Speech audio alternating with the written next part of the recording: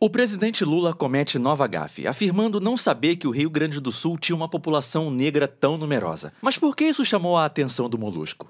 Este é o Visão Libertária, sua fonte de informações descentralizadas e distribuídas. Ajude a propagar as ideias de liberdade, deixe o seu like e compartilhe com seus amigos.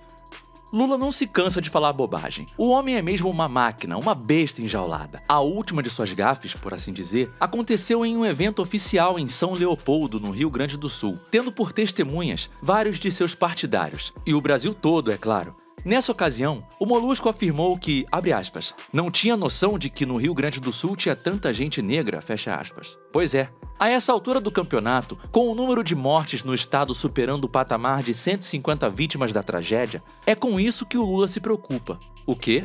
Você acha que o Lula teve essa magnífica percepção em loco, visitando os locais mais atingidos pela tragédia ambiental? Mas é claro que não. Ele ficou sabendo disso pelos jornais, ainda de acordo com suas próprias palavras. Na verdade, o molusco ainda nem sujou seus pés de lama por lá, ao contrário dos incontáveis heróis anônimos que se arriscam diariamente no socorro às vítimas gaúchas. Não, o presidente da República tem suas prioridades, como entregar casas em Alagoas visando ganhos eleitorais ou receber o ex-presidente da Argentina, Alberto Fernandes, no Palácio do Planalto. Os gaúchos que se danem. Só que, em se tratando do Lula, a coisa sempre pode piorar. Complementando a bobagem inicial, o Molusco arrastou sua primeira dama para o meio da conversa. Ainda segundo o cachaceiro, Janja lhe explicou aquela situação. Havia muitos negros aparecendo nas filmagens da TV, porque os negros são pobres. Então, essas pessoas moravam em locais com maior risco e, portanto, foram mais atingidas pelas tragédias. Exatamente. Depois do elas são fáceis porque são pobres, vem agora o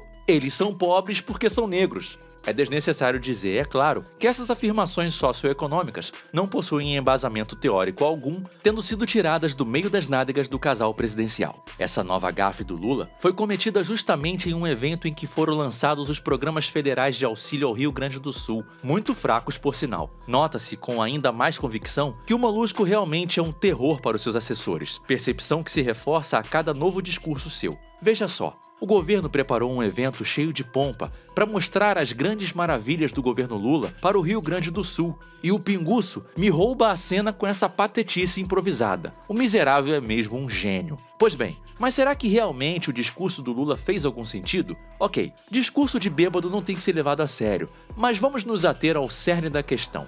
Será que o presidente da República realmente não sabia desse ponto, de que o Rio Grande do Sul tem uma considerável população negra? Bem, os dados oficiais do próprio Estado brasileiro nos dão essa resposta. De acordo com a pesquisa mais recente do IBGE, publicada no final do ano passado, os negros representam 21% da população do Rio Grande do Sul, ou seja, mais de 2 milhões de pessoas. É difícil não perceber esse monte de gente, não é mesmo? Porém, precisamos aceitar que o conceito de negros realmente é problemático, conforme as definições do IBGE. E isso porque ele abrange tanto os pardos quanto os pretos. Provavelmente, o Lula estava se referindo a essa segunda etnia quando de seu discurso. Porém, os números do IBGE nos dão conta de que existem 700 mil pessoas pretas no Rio Grande do Sul. Sem dúvidas, essa é uma quantidade de pessoas nada desprezível. O que é desprezível, isso sim, é a atitude do presidente petista. Isso passa do mero deslize, como a grande mídia passadora de pano gosta de falar. Estamos diante de um claro ato falho, ou seja, um momento em que o Lula deixa escapar algo que ele gostaria de esconder. No caso, trata-se do fato já bastante conhecido de que a esquerda brasileira é segregacionista. Ela gosta de dividir a sociedade brasileira em classes, motivadas por etnia, religião e renda. Duvida? Pois lembre-se de que poucos dias antes da fala do Lula, sua ministra da Igualdade Social, Aniele Franco, solicitou ao governo que priorizasse as famílias quilombolas, ciganas e moradoras de terreiros na distribuição de alimentos no Rio Grande do Sul. Sim, é isso mesmo. A ministra pediu ao governo que atendesse as pessoas primeiro por sua etnia e não pela vulnerabilidade de situação quando das tragédias. Da mesma forma, o próprio Lula pareceu estar mais preocupado com o Rio Grande do Sul depois de saber que tem muitos negros morando por lá. Quer dizer então que o branco gaúcho não importa para o governo? A verdade é que, de maneira geral, o molusco de nove tentáculos não parece mesmo se importar com o Rio Grande do Sul, dada a sua ausência do território gaúcho em momentos chaves. Já a Janja Bem, parece que a primeira-dama do Brasil se empolga mais com cachorros e com cavalos do que com pessoas. Porém, podemos analisar toda essa situação sob uma ótica ainda mais abrangente. A verdade é que todo esse problema vai além do governo PT e do Lula. O sistema estatal em si é segregador. Olhe para tudo o que temos hoje em matéria de lei estatal. E você vai perceber uma clara tentativa de dividir a sociedade. O Estado, por meio de diversos mecanismos, cria classes sociais distintas, separando ricos de pobres, homens de mulheres, negros de brancos e gente de bem da esquerda de todo o resto, os chamados fascistas.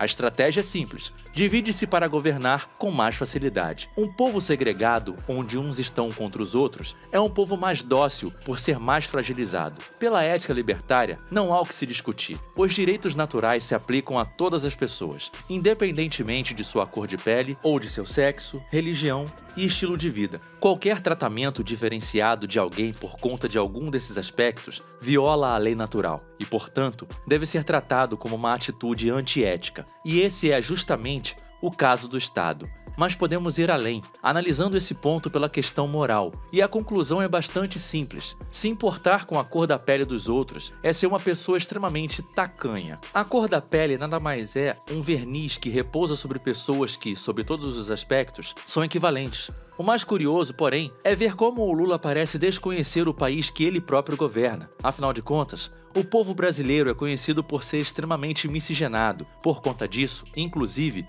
uma de suas características mais marcantes é a tolerância com o diferente. O Brasil teve um presidente mulato, Nilo Peçanha, 100 anos antes de Barack Obama ocupar a Casa Branca. Todo brasileiro defende com unhas e dentes os mil gols do melhor jogador do mundo, o negro Pelé, que era ovacionado como herói nacional no Brasil em 1958. Nessa mesma época, ônibus nos Estados Unidos ainda tinham assentos separados para brancos e para pessoas de cor. Como dizer que um país como esse tem problemas estruturais relacionados à cor da pele? Hoje em dia, a maior parte dos brasileiros possui contribuição genética de europeus, africanos, indígenas, orientais, dentre outros o Brasil é um caldo étnico e isso é muito bom. Portanto, querer dividir a população, especialmente por motivos eleitoreiros, não é apenas errado do ponto de vista lógico, é uma baita de uma sacanagem com o povo brasileiro. Mas essa atitude do Lula é muito simples de entender, por ser mais do mesmo. O Molusco jogou a carta do racismo para tentar angariar votos, talvez com a população pobre do Rio Grande do Sul.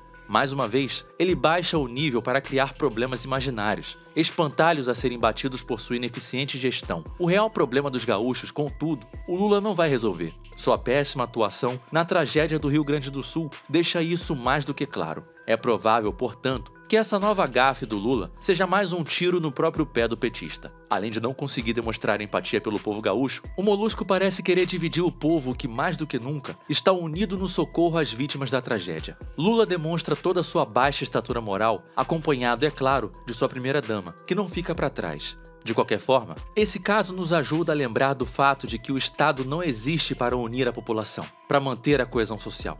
Ele existe para segregar, separar, promover ódio entre as pessoas e dividir o povo, para governá-lo com muito mais tranquilidade. Obrigado pela audiência. Esse artigo foi sugerido por JJ Liber, escrito por Quintessência, revisado por historiador libertário e narrado por Leafá. Esse é um canal colaborativo. Um artigo seu pode virar vídeo aqui também, sabia? Basta se cadastrar no nosso site visãolibertaria.com e enviar seus artigos por lá. Não deixe de se inscrever no canal e clicar no botão da campainha para ser avisado de novos vídeos. Um abraço e até a próxima.